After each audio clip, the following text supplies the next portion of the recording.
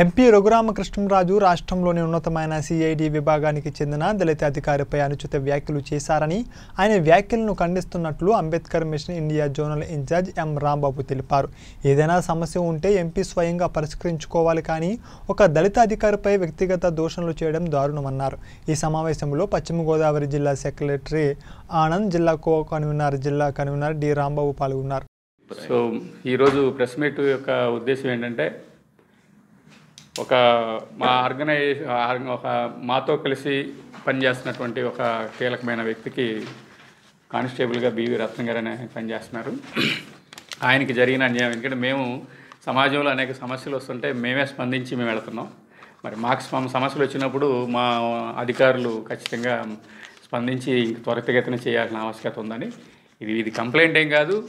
విన్నవించుకుంటున్నాం. ఎందుకంటే యాక్చువల్గా ఈరోజు డిఐజీ గారి దగ్గరికి వెళ్ళాలని అనుకున్నాం.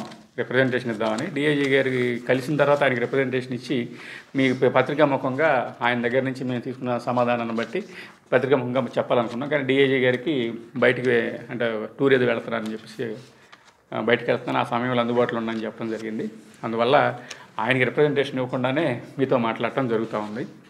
ముఖ్యంగా ఈ ప్రెస్ మీటు మొదటి ఉద్దేశం ఏంటంటే బివి రత్నం గారని పాలకోలు పోలీస్ స్టేషన్లో కానిస్టేబుల్గా పనిచేస్తూ ఉన్నారు.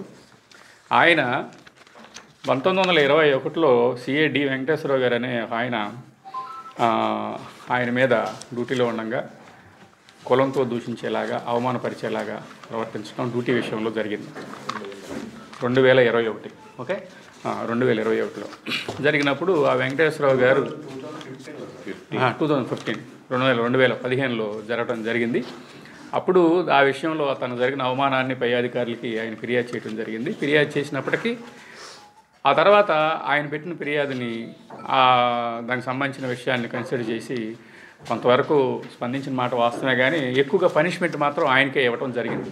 కానిస్టేబుల్గా చిన్న ఉద్యోగి కాబట్టి.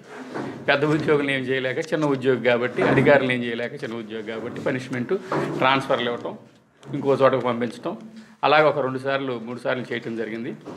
ఆయన నిజంగా ఒంటరిగా పోరాటం చేసి కేసుని ఎస్సీ ఎస్టీ కేసుగా చేసి కోర్టులో కూడా వేయటం జరిగింది. అది ఏమైందని ప్రూవ్ అయింది. జడ్జి గారు ఎస్సీ ఎస్టీకి సంబంధించిన ఇది కోర్టు ఆర్డర్ కూడా మనకి ఉందండి ఇది. ఇవ్వటం జరిగింది. మేమేం చేయాలనుకుంటున్నాం అంటే ఇప్పుడు ఇప్పుడు వరకు కూడా ఆయన మీద ఎటువంటి యాక్షన్ తీసుకోవాలి ఏదైతే అన్యాయానికి గురయ్యాడో ఆ కానిస్టేబుల్ మీద అతనికే పనిష్మెంట్ ఇచ్చి రెండు మూడు సార్లు పంపించిన అధికారులు. మళ్ళీ ఇప్పుడు అతను మీ ఎవరైతే అధికారి మీద ఎవరైతే కంప్లైంట్ ఇచ్చాడో ఆ కంప్లైంట్ ఇచ్చిన వ్యక్తి మీద ఈ రోజు వరకు కూడా కోర్టు ఆర్డర్ వచ్చినప్పటికీ ఎస్సీ ఎస్టీకి సంబంధించిన సంబంధించి కోర్టు ఆర్డర్ వచ్చినప్పటికీ దాని మీద ఏమిటువంటి చర్యలు తీసుకో